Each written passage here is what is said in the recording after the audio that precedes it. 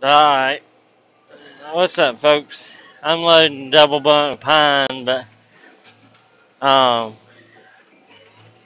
the loader finally did what I thought it was going to do, and I'm glad it did it. Uh, I've been working trying to get the rotate to work because I was pretty sure it was a piece of trash stuck in a valve, and I'm still pretty sure that's what it was. But I finally got it fixed. It will rotate both ways now. So And this is the kind of stuff I really needed to rotate both ways. And tree length ain't near as bad, but this stuff right here, I so but it is rotating both ways. I figured I'd let y'all ride along with me loading some double bunk pine.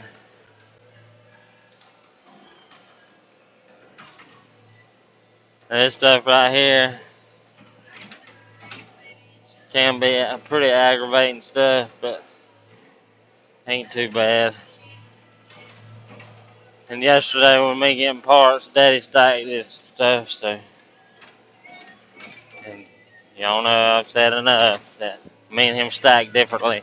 I ain't saying he does it wrong or I do it right, but he does stack different than I do, so it's difficult to load fast after him. I mean, it ain't hard to load after him. You just can't load too fast because you got you got to make it work.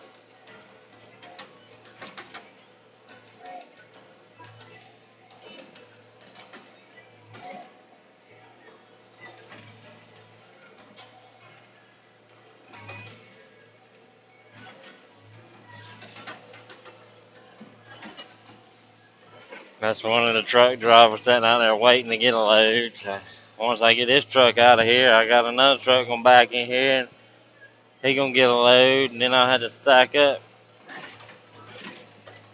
before my other trucks get here.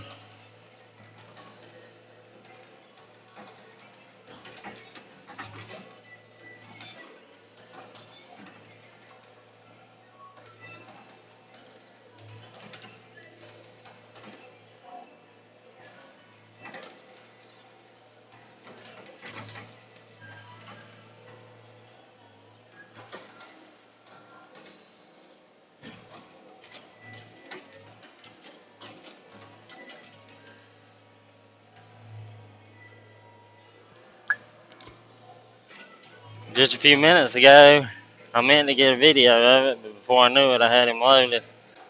Um, I loaded a load of cut up chipping saw, which I don't think y'all have ever seen me load before, but I'd have to look back to make sure. But that's an interesting load because it's like loading pulpwood if you do it right. It's like loading pulpwood, but you gotta load it a whole lot prettier, and you can, you can just throw pulpwood on there to a certain extent. Can't do that with chipping saw. You gotta make it look good.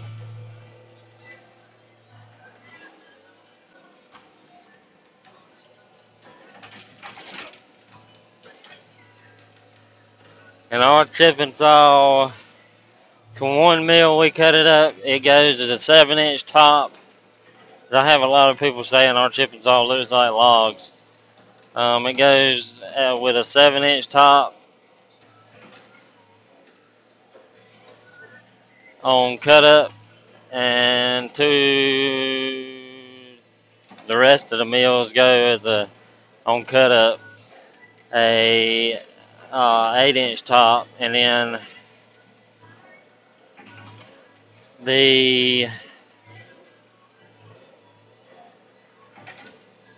tree length is a six inch top to the mill that takes the seven inch top cut up and a seven inch top to everywhere else. So it's a lot to keep up with and you got to know where you want to send it before you send it and have two or three different piles and all kinds of crap. But once you get used to it, it ain't that bad. And then uh, our fly logs are nine inch small in diameter. Well, I should say our chipping saw is a seven inch small end diameter on cut up, and on the other ones are 8 inch on cut up, small end diameter. Piece right there is a little long, but it'll work. It just tickles me that my uh, rotate's working properly. I will tell you one thing. I don't know if it's because this one's old or they just didn't put much emphasis on it.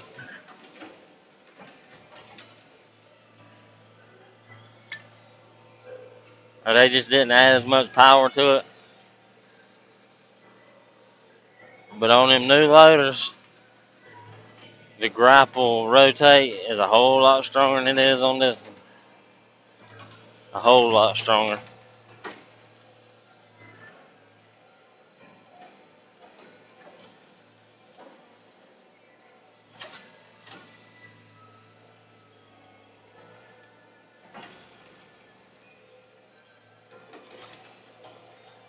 Because whenever I got on that other, that 2384, and went to running it,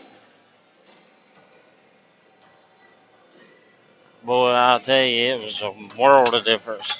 I mean, it spin that wood like it won't nothing.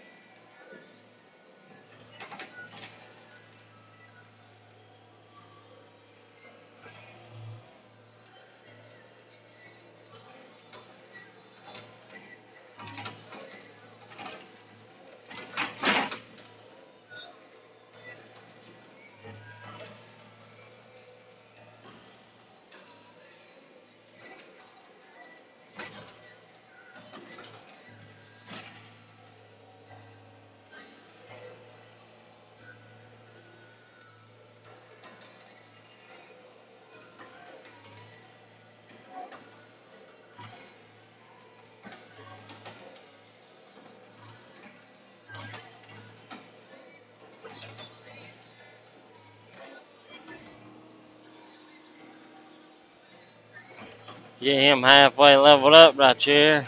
He'll be good to go.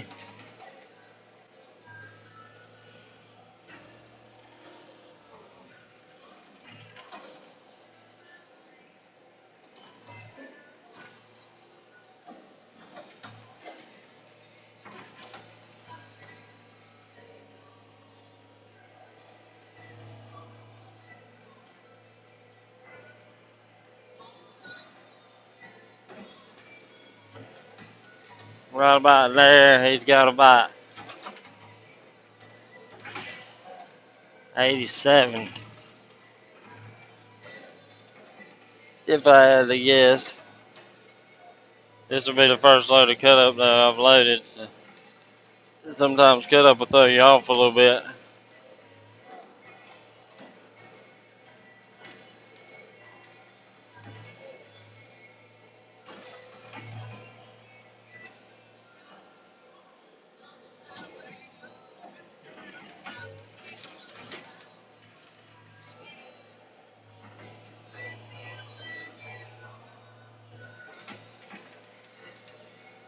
Alright, I'll catch y'all later. Appreciate all the new subscribers. Thank y'all. Um, I'll try and keep getting some good content out to you. And have a good rest of the day. Catch y'all later.